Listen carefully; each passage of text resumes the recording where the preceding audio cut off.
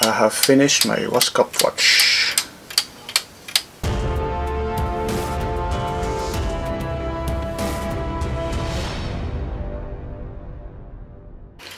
Hey guys, Jacques here.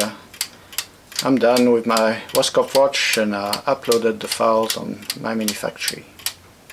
It's ticking nicely, a little bit faster here, a little bit slower here, but still working in all position. And if you have a big pocket, you can put it in your pocket. Maybe you could do sintering printing, print all the parts a quarter of the size and then you'll have a re real pocket watch. And that might be something I'll do one day. I must say, it takes quite a bit more to be able to do this than one of those clocks. clocks are easy, watches are not so much so. So the clock runs 7, 8 hours, I was hoping 12. So the, the timing is still not perfect, need to do a better spill spring. That's a whole thing in its own. So it's 420 milliseconds when it's standing upright.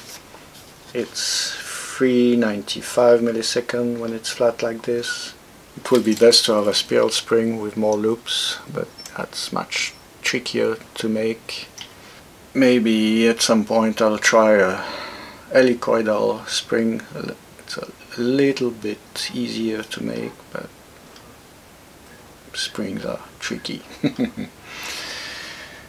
the mainspring is from a steel chainsaw, the, the recoil, pull start recoil spring I could have more power with doubling the spring, but then I'm afraid the pinion will not be able to take it.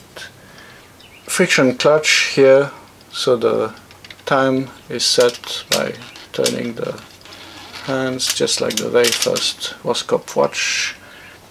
I made this oversized cone for the stem, that way it can sit on a shelf like this By the way around. So if you're into watch building you can give it a try. But be aware it's not an easy build. There'll be more videos coming to explain the build and how to put together anchor and how to push those little pins in place and have them at the correct position. When you push pins into plastic it's easy to get crooked. Also have that uh, 3D printable spiral spring. It's easier to do than that steel spring here if you want to start but yeah there it is let's wind it up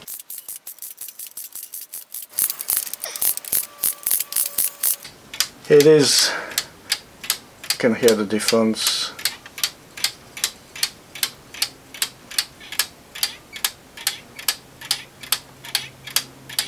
I don't know why it's squeaking.